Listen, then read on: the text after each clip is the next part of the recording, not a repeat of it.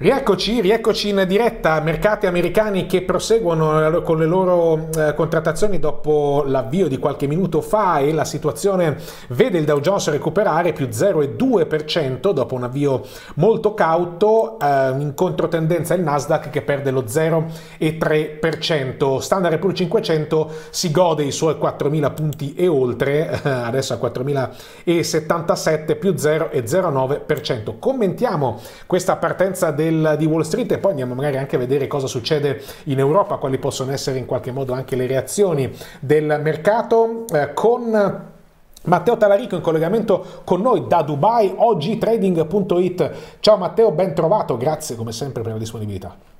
Ciao Giacomo, grazie a voi dell'invito, tutto bene?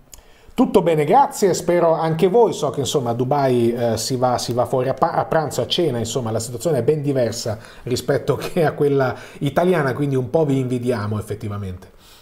Sì, un po, più, un po' più tranquillo, bisogna sempre fare le precauzioni del caso, poi qua chiaramente hanno praticamente diciamo, vaccinato almeno con la prima dose il 90% della popolazione residente, di conseguenza è chiaro che i contagi piano piano diminuiscono, c'è abbastanza apertura al turismo, soprattutto verso Pasqua abbiamo notato un bel boom di, di turisti.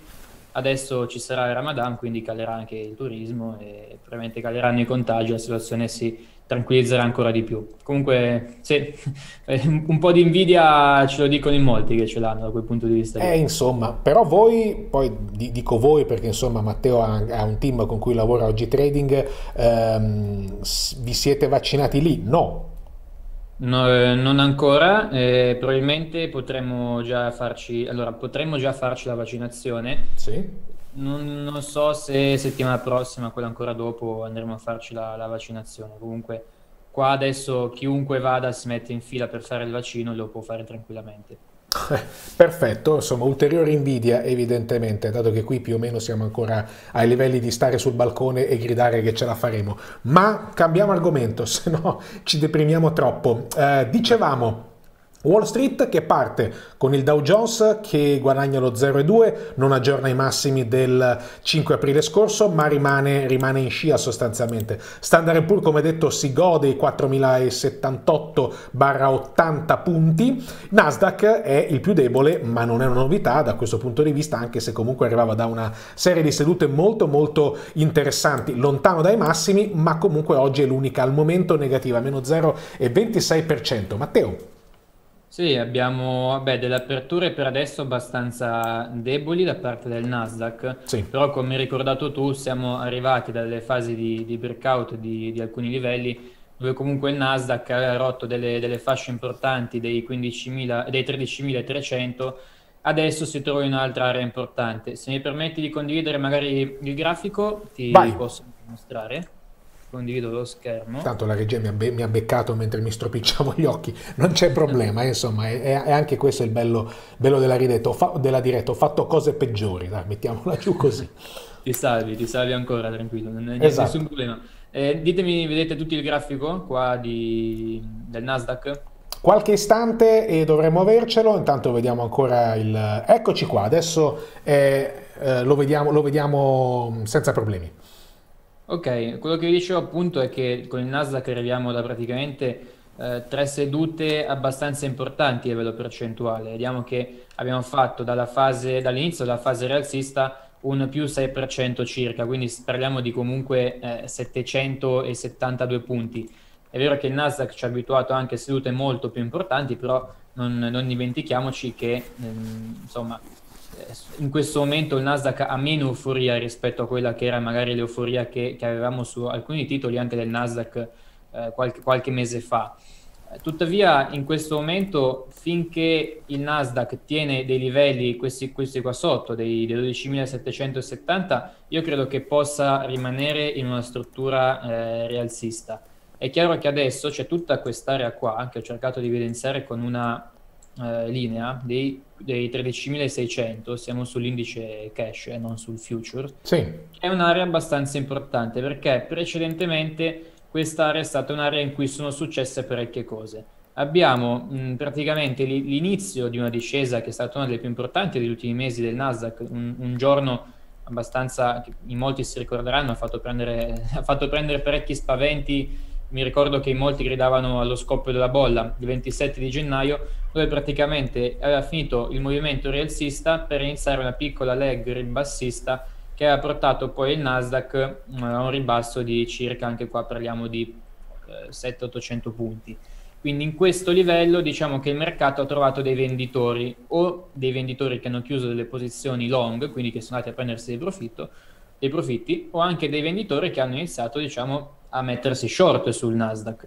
Poi è stato recuperato e infatti questo abbiamo visto corrispondere anche a questo doppio minimo eh, la, discesa, ehm, la discesa del 25 di febbraio dei 12.770 12.008 essere un ottimo punto di ripartenza noi con i nostri, con i nostri corsisti con i nostri eh, seguaci diciamo della, della nostra chat eh, abbiamo visto come ci si poteva mettere effettivamente a rialzo su questi livelli. Se non avesse fatto il, il, il break a ribasso di questi livelli e ci ha un po' dato ragione. Però vediamo tornando alla, alla, alla fascia dei 13.600 come quest'area è tutta un'area in cui è successo qualcosa. Quindi qua abbiamo visto la chiusura delle posizioni long ed eventuali short, qui il mercato che aveva provato diciamo, a scendere e non era ancora stato venduto, quindi c'è stata un po' un'area di difesa in cui il mercato è stato di nuovo ricomprato e poi in questa candela del 22 di febbraio sostanzialmente è successo che il mercato da rialzista si è girato di medio-breve periodo ribassista, con questa candela importante che poi ha sancito diciamo, una, una seduta di, di, un paio di settimane, due o tre settimane eh, di ribassi.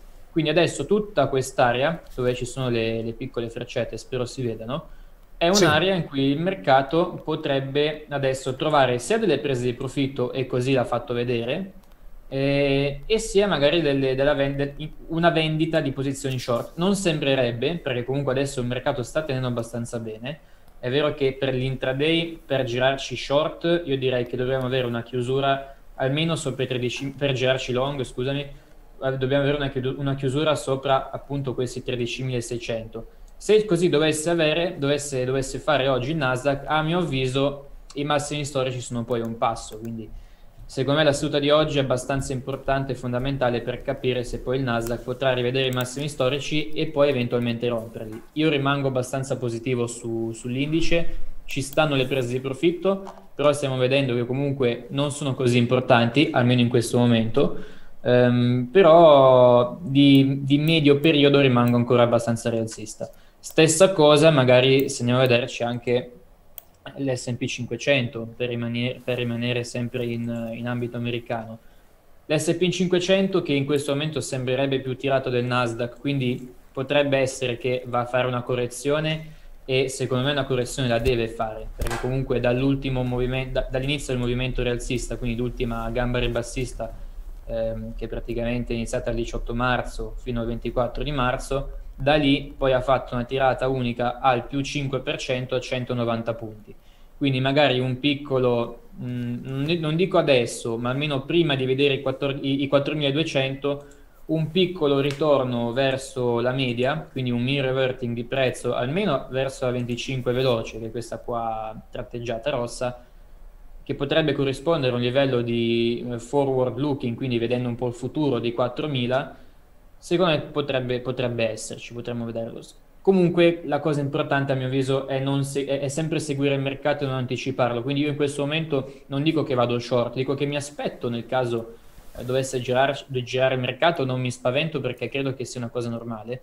Però ovviamente in questo momento si rimane long, non cerchiamo mai uh, di, di, fare, soprattutto chi trada indici con i futures, con i cash, con i CFD, di non fare diciamo, i, i, veggenti e cercare lo, lo, short, il punto di inversione quando il mercato è prettamente rialzista.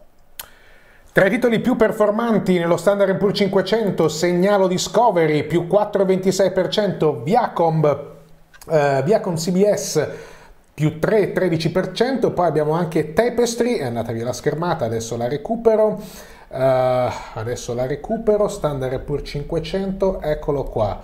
Allora, dicevamo, dicevamo, perché oggi è un po', è un po ballerina la connessione, ehm, tra i migliori del Standard Poor's 500, Carnival Corporation più 4,44, Norwe- Norwegian Cruise Lines più 2,82, Royal Caribbean Group, come vedete tutti i titoli legati insomma grande, ai grandi trasporti e quindi la sensazione che oggi eh, torna la fiducia in qualche modo sulla, sulla ripresa, perché questi erano titoli fin durante la pandemia molto molto molto penalizzati. C'è anche Discovery che non è più più performante, si era aggiornato per questo, ma guadagna comunque il 2,66%. Sul Nasdaq segnalo Biomarine Pharma, uh, Pharma e quindi più 1,45, LAM Research Corporation più 1,45, Fox più 1,17. Perde il 5,16 NetEase, perde anche Pinduoduo e anche Zoom Video titoli che invece durante la pandemia hanno sostanzialmente guadagnato terreno. Segnalo inoltre,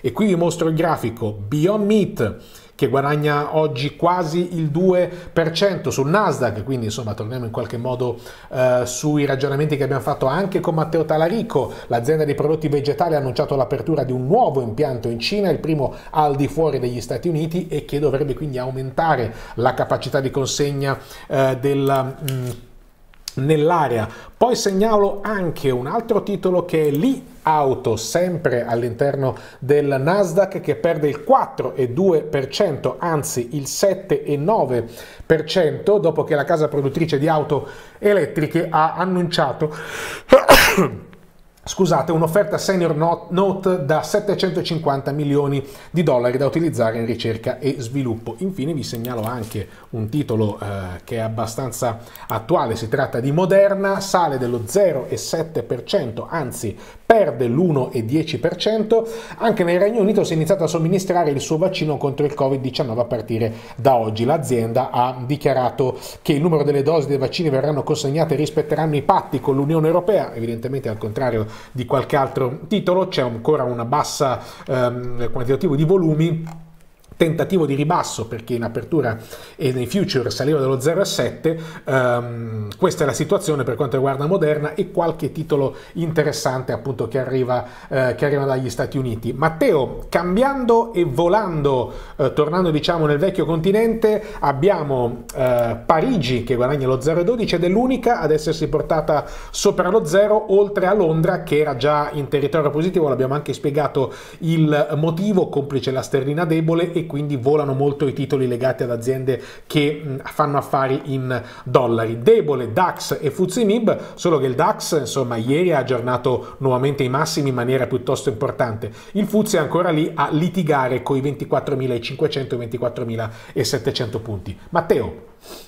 sì, eh, vabbè, io direi che in questo momento, parlando di DAX e, e, di MIB, soprattutto siccome il DAX è l'indice di riferimento europeo, possiamo dire il più importante, il MIB è l'indice italiano nostrano, direi che un pochino di, di, di flessione, che neanche chiamerei flessione, di un po' di prese di profitto ci stanno. Eh, ricordiamoci che il, il, il DAX ha fatto veramente una corsa importante eh, ha, ha, fatto un breakout dei massimi storici eh, sopra i, diciamo, i 14.150, mi pare fossero, eh, che non rompeva da, da, un po' di tempo, su cui stava praticamente da, diciamo da, da un mesetto e mezzo, ha fatto genna- febbraio, marzo, stando su quei livelli, ha fatto un breakout che l'ha portato sopra i 150 punti quasi dai, dai, dai, dai vecchi massimi storici. È normale adesso un po' di prese di profitto, eh, io non trovo normale invece molte persone che purtroppo vanno a continuare a shortare eh, il, il, DAX da, da, livelli ad esempio di 14.800, 14.000, eh, anche prima 14.600, perché comunque se io vado a vedermi ad esempio, io utilizzo un broker che mi fa vedere i sentimenti del cliente, lo fanno vedere un pochino tutti i broker, eh, però questo in particolarmente, non so se posso fare il nome, però eh, è un broker abbastanza grosso e mi dava l'80% dei traders retail short sul DAX. Praticamente me lo, me lo, dava già dal 26 di marzo. E quindi è chiaro che eh, poi eventuali short squeeze possono succedere su, sull'indice che va a vedere i massimi storici.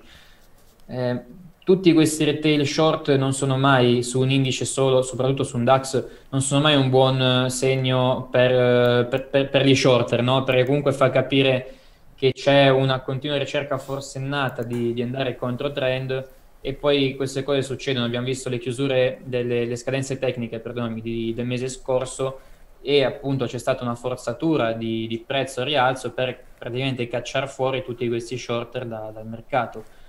Eh, adesso un pochino di prese di profitto, come ti dicevo, ci stanno. A mio avviso il, il, il DAX potrebbe anche tornare a rivedere i, i, livelli dei 15.000 perché ci sta che faccia un processo anche lui di mirror reverting. Se vai a vederti un grafico, eh, ha una crescita abbastanza esponenziale, sembra il Nasdaq in questo momento il DAX. Stessa cosa eh il MIB, il MIB ha praticamente recuperato eh, tutta la discesa della pandemia, quindi ci sta che adesso si vada a prendere un po' di profitto però rimane in questo momento l'Europa abbastanza forte. Il DAX rimane a mio avviso un indice molto forte. Eh, non mi andrei a mettere short su, sul DAX sinceramente, anche se come ti dicevo potrebbe fare un, un reverting e tornare a 15.000 o anche a 14.009. Cer- cercherei sempre di, in questo momento di, di andare a prenderlo long. Tra l'altro, per tornare un attimo sull'America, tu parlavi prima di Carnival. Sì. Eh, io ti dico che è molto interessante, a mio avviso in questo momento, andare a vedere un, uh, il settore dei trasporti in America. Io personalmente mi sono comprato un ETF, che è un ETF, si chiama iShare um, Transportation, I, il ticker è IYT, ed è un ETF eh, molto molto interessante.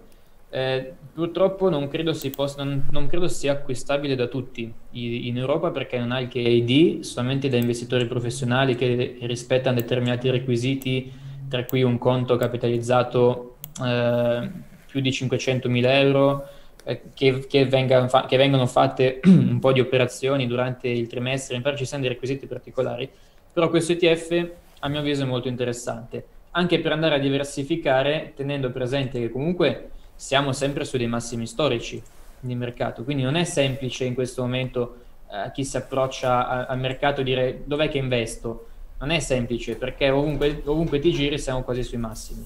È chiaro che citavi Carnival, Carnival a mio avviso è un titolo su cui si potrebbe puntare perché potrebbe tornare effettivamente a dei livelli pre-Covid, ci potrebbe mettere un pochino di tempo, però ci potrebbe tornare, l'ha dimostrato, in questo momento Carnival è forte, ma ci sono tanti titoli di questo genere, a partire da, dal settore delle compagnie aeree. Oggi abbiamo visto eh, Air, Air, France che a seguito mh, dei, degli aiuti da parte del, del, dello Stato di 5 miliardi ha, una, ha registrato una buona performance.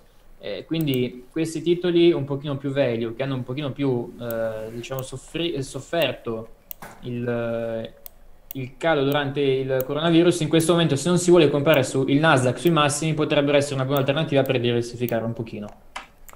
Oggi tanti vol- grandi volumi insomma su Air France KLM, eh, guadagna il 5,86%, ho mostrato prima anche Carnival Cruise Lines che ha segnalato eh, Matteo. Mm, senti abbiamo ancora qualche minuto, c'è una domanda di un amico eh, che ci scrive, siccome avete parlato di Moderna, vi chiedo un'analisi di Inovio, non so se la pronuncia è, è, è corretta, Pharmaceutical. Provo a cercarlo proprio live, insomma, per vedere di cosa si tratta. Sì, è un titolo eh, nel Nasdaq, eh, ovviamente legato al comparto farmaceutico, che è un po' un'arma a doppio taglio, insomma, un po' come il doppio massimo eh, su cui so che voi di oggi training avete una visione non dico prudente ma comunque eh, eh, abbastanza, abbastanza, ampia insomma di, di larghe vedute. Lo, lo, dico anche perché il doppio massimo c'era su Carnival Cruise Lines per quanto fosse relativo nel breve periodo. Ma sto un po' divagando. Tornando a noi Inovio Pharmaceuticals eh, titolo del Nasdaq oggi guadagna il 2,23% se, eh, diciamo che i supporti stanno lavorando piuttosto bene e quindi forse il nostro amico ci vorrebbe sapere se c'è spazio magari per una ripresa simile ai livelli del 2 febbraio scorso in cui con un aveva raggiunto un, aveva registrato un più 33% il primo febbraio, poi un meno 11% il giorno successivo. Movimenti molto simili a quelli che abbiamo osservato su GameStop, se vogliamo, anche se magari è legato a altre dinamiche. Matteo? Allora, sì, ti condivido anche lo schermo per, per vedere insieme Perfetto. questo grafico di Novio. Allora, io in ovvio personalmente non, non la conosco troppo, però da quello che vedo è un, è un farmaceutico che, su, sul quale agi, agisce molta speculazione e, e, probabilmente sente molto le notizie, sente molto eh, gli short interest aperti.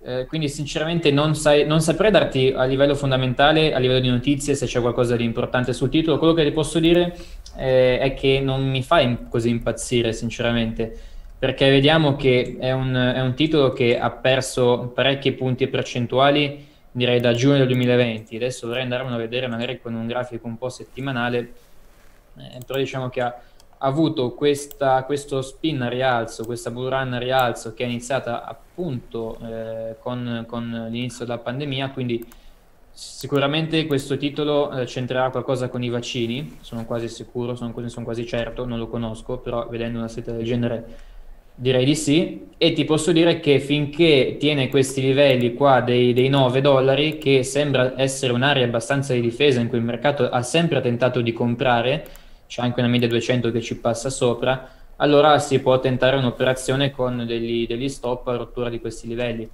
Personalmente non mi fa impazzire, la comprerei se volessi un po' tentare una scommessa. Diciamo che sul settore farmaceutico c'è un po' di meglio, dalla stessa Johnson Johnson poi eh, anche Pfizer non è malaccio, cioè, ce ne sono parecchie. Più che altro, se, se, vuoi, se, se si vuole comprare un, il settore farmaceutico, io andrei su un ETF che comprende un pochino più di titoli, healthcare, che va a mitigare il rischio tipico dell'healthcare, che è quello dell'uscita della notizia che fa esplodere il titolo e poi lo fa sgonfiare, quindi il pump and dump classico di, di questi titoli qua. Dunque, questa è L'analisi, perfetto, insomma, vedo che abbiamo anche azzeccato la, uh, l'analisi perché vedo che insomma, è arrivato il messaggio di soddisfazione da parte dell'amico che ci, ha, um, che ci aveva chiesto appunto di, di Novio. Um, per chiudere, Matteo, un po' abbiamo risposto in realtà um, a, alla domanda che sto per farti, però Sostanzialmente sì, poi peraltro confermo che Inovio insomma, è dentro il, eh, il, giro dei vaccini insomma, segnalati assieme a Novavax, a Sinovac, magari quelli di cui si parla meno perché magari utilizzati in altri, in altri paesi, ma è dentro, insomma, è considerato, vedo, tra i concorrenti diciamo così, di Pfizer se vogliamo, sono su un, tito, su un sito americano. Dicevo, un po' abbiamo risposto nel corso della nostra chiacchierata, eh, però torno magari e ti faccio una domanda più diretta. In questo momento, lo ricordavi anche tu, con eh, diversi indici vicino ai massimi, cito lo Standard Poor's 500 e il DAX per dirne due, eh, un modo insomma interessante e in qualche modo eh, utile insomma per salvaguardare il proprio portafoglio. Diciamo, se c'è un, un consiglio principale, un'indicazione principale, quale può essere dal vostro punto di vista, dal punto di vista di oggi trading.it? Beh, allora la prima sicuramente è compra e dimentica, no? Quindi si sta che tra dieci anni statisticamente il mercato dovrebbe essere più alto di dove adesso. Poi è chiaro che non, non possiamo saperlo se inizierà una fase ribassista, se cambia l'ordine mondiale, insomma, non, non, possiamo sapere se arriveranno gli alieni da Marte, quindi eh, non, questo non possiamo saperlo. Però statisticamente il mercato, anche se si, compra, se si dovesse comprare adesso il S&P 500 tra dieci anni, dovremmo trovarlo a livelli più alti. Io consiglio sempre comunque di fare una diversificazione eh, sulle varie asset class, quindi non solo stare sul, sull'azionario, se si vuole stare sull'azionario è chiaro che bisogna diversificarlo bene, questo azionario, quindi non stare solamente su titoli alla NIO, alla Li Auto che citavi prima, eh, alla Tesla, diversificare bene, per settore, per area geografica, quindi ad esempio io credo che adesso potrebbero andare bene nel, prossimo, nel, nel futuro, questo il prossimo anno, titoli asiatici sul settore finanziario, assicurativo, bancario e energetico. Eh, anche l'India potrebbe far bene, nonostante adesso sono arrivate un po' di, di, di, di notizie negative da parte di Goldman Sachs, perché comunque, tra virgolette, non, non, dico declassato, però ha rivisto un po' a ribasso le, le aspettative sull'India a causa del, del, dell'incremento dei contagi, però l'India potrebbe essere veramente un, un'area geografica di importante crescita e di sviluppo anche per il mercato azionario, quindi, e, e poi diversificare su varie asset class, quindi importanti sono gli alternatives, quindi magari concentrarsi anche un po' sul lusso, che non fa male, concentrarsi anche sulle cripto, perché no, adesso mh, penso che voi ne state parlando, ne stiate parlando anche abbastanza con le fonti, ho sentito un po' di interventi sulle cripto e secondo me è giusto che si vada a tentare, se si vuole provare, a mettere una parte di portafoglio su, su questo asset che sta diventando sempre molto importante. Quindi io quello che credo che, e comunque una cosa molto importante, eh, questa la voglio ribadire, la dico sempre anche a chi ci segue, tenere un po' di liquidità non fa male. Diciamo che molti investitori americani usano il detto cash is trash, no? quindi il cash è spazzatura perché chiaramente non rende. In questo momento se tu compri l'obbligazionario hai un po' di rischi. Quindi sinceramente per me in questo momento cash is king, non è cash is trash, però il cash potrebbe, quindi la liquidità, potrebbe essere utile anche perché se dovessero esserci delle flessioni sui mercati o su determinati compartimenti del mercato azionario, si può andare a comprare bene. Nel frattempo ti segnalo che il Nasdaq sta tentando di fare il breakout dei 13.600, siamo molto vicini, quindi spero che i nostri, insomma, i nostri seguaci, secondo le nostre tecniche e metodologie operative, abbiano preso il bel long che c'era adesso su Nasdaq, che sto vedendo adesso, e... Ehm, eh sì, sta cercando di portarsi quantomeno in territorio positivo, lo ha fatto in questo momento, c'era arrivato anche prima, 13.699, eccolo, sono arrivati 13.700 proprio in questo istante, mentre parlavi ho, anche, ho, mostrato anche il grafico di Deliveroo che, di cui si parla in, questo, in, questi giorni, proprio perché insomma da poco ha fatto il suo esordio nella borsa eh, di Londra. Eh, ci torno, eh, torno a mostrarvelo dato che comunque sia ehm, Deliveroo, oggi vado un po' a rilento, eccoci qua, è, è da poco la borsa di Londra, 4 sedute, ha segnato il massimo a 3,90, adesso si è posizionato sui 285, ma come vedete insomma sono solo 4 candele perché siamo sul ehm, daily. Matteo Talarico... Questo, questo a vai. dimostrazione di come anche possa essere pericoloso, ne parlavamo anche in un'altra occasione, sì. andare a comprare le IPO soprattutto in questo periodo in cui il mercato è incerto, no? Vero, vero, ne avevamo parlato in passato, assolutamente. Uh, Matteo Talarico, oggi trading.it, grazie per essere stato qui con noi, il tempo a nostra disposizione si è concluso, uh, buon lavoro ovviamente, buona Dubai e a presto. Grazie, un saluto a voi e forza Nasdaq che va a farci il breakout dei 600. Ciao a tutti. Grazie Matteo, ci fermiamo, piccolo break pubblicitario, tra poco.